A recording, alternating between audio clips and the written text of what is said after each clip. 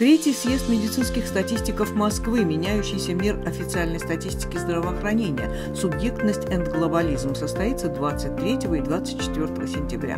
В преддверии съезда в Национальном НИИ общественного здоровья имени Симашко прошла пресс-конференция организаторов этого важного для здравоохранения.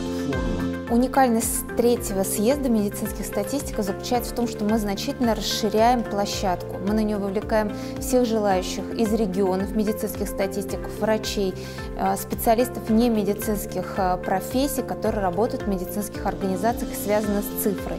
Также у нас одна секция будет посвящена цифровым технологиям в целом, которые используются в системе здравоохранения и, конечно же, в медицинской статистике, аналитики, которые занимаются предиктивной аналитикой. Ну и, конечно, у нас будет одна сенсация, о которой мы расскажем на самом съезде. Объем данных, ежедневно обрабатываемых специалистами, непрерывно растет, что требует новых технологий и стандартов. Работа в этом направлении ведется научно-исследовательским институтом статистики Росстата.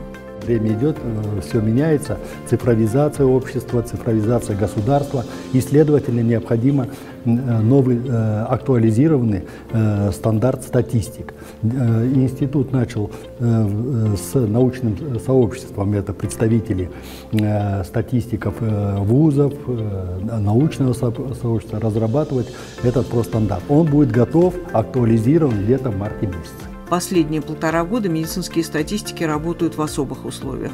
Пандемия COVID-19 требует перестройки. Более сложная проблема – это э, вот тот массив Э, огромный массив информации, его анализировать оперативно, э, проводить э, какие-то корректирующие мероприятия, прогнозировать на основе этого. И все это дает, конечно, возможность цифровизации, информатизация и подготовка специалистов для работы с этими данными. В рамках съезда пройдет ежегодный конкурс «Лучшие региональные практики управления здравоохранением на основе статистики и больших данных». Отбор проектов проходит по нескольким критериям. На мой взгляд, мне, который ближе, да, критерий – это возможность проекта масштабироваться.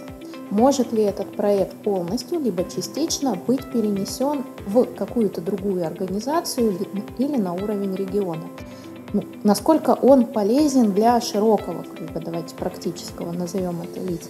Потом есть критерий, насколько этот проект реализован, насколько проект ну, представлен, он понятно, внятно, чтобы поскольку проекты представляются в течение 10 минут, мы коллег всегда просим, чтобы это из того, что они презентуют, было достаточно понятно его польза, практическая направленность и, собственно, суть.